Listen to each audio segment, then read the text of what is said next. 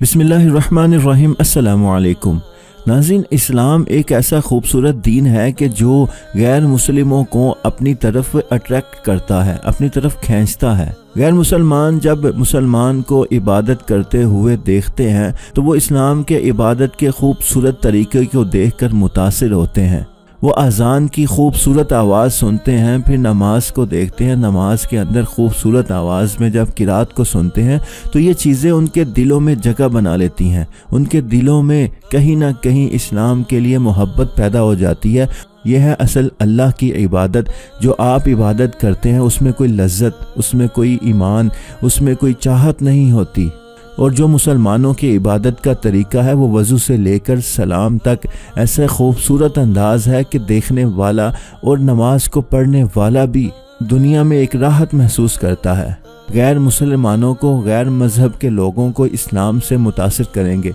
उनको दिखाएँगे कि असल इस्लाम का रोशन चेहरा क्या है। वो यहाँ पर आएँगे, मसाजिद देखेंगे, हमारी इबादत देखेंगे, नमाज़ों को सुनेंगे, अजानों को सुनेंगे, अकामत सुनेंगे तो फिर वो इससे मुतासर होंगे। और कतर वालों ने अपनी मसाजिद के दरवाजे खोल दिए थे, अपने मुअज्जन चेंज कर दिए थे, ताकि उनकी आवाज़ को सुनकर गैर मुसलमान मुतासर हों और वो इस्लाम कबूल करें, उनके दिलों में इस्लाम के लिए नरमी पैदा हो। तो नाजिन, कतर की एक मस्जिद का मंजर वायरल हुआ कि जिसे देखकर आलम कुफर भी आज चीखो पुकार कर रहा है कि कतर का बाइकआउट किया जाए। फीफा वर्ल्ड कप यहाँ से शिफ्ट करके कहीं और ले जाया जाए। हमें यह चीज़ मंजूर नहीं है कि इस्लाम फैले, इस्लाम का बोल बाला हो, मुसलमानों की तादाद में इजाफा हो, मुसलमानों की अक्सरियत हो, मुसलमानों का गलबा हो, हम ये चीज़ नहीं चाहते।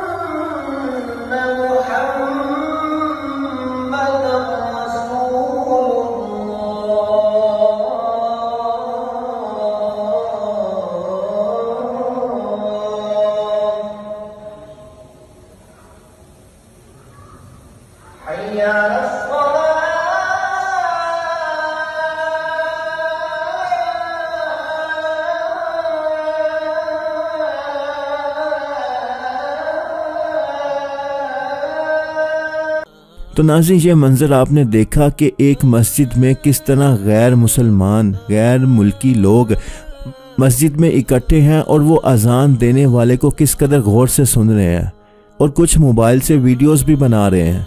और जब वो वीडियोस बना के लेके जाएँगे, उसको बार बार देखेंगे, सुनेंगे तो ये चीज़ उनके दिलों में इस्लाम के लिए मोहब्बत पैदा कर देगी और एक दिन आएगा कि वो इस्लाम कबूल कर लेंगे। और हो सकता है इस अजान को सुनकर ही वही मस्जिद में ही कईयों ने कलमा पढ़ लिया हो। तो नाजिन ये इस्लाम है ही खूबसूरत। अल्लाह ने इसको एक खूबसूरत मज़हब बनाया है। लोगों को अपनी तरफ़ खींचता है। गैर मुसलमानों को, गैर मज़हब के लोगों को अपने तरफ़ खींच कर इस्लाम कबूल करने पर मजबूर कर देता है। तो अल्लाह ताला से दुआ है कि अल्लाह ताला कतर को ऐसे इकदाम करने की तोफीक देता रहे और इससे और इस टाइम फीफा वर्ल्ड कप के दौरान कतर से मज़ीद इस्लाम की खिदमत के लिए काम ले। आमीन सुमा आमीन।